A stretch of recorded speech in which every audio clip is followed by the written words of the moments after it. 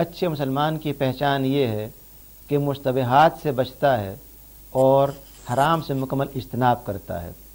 سرخ بتی دراصل خطرے اور حرام کی علامت ہے۔ ہمارا فرض ہے کہ ٹریفک قوانین کے پیروی خود بھی کریں، دوسروں سے بھی کروائیں۔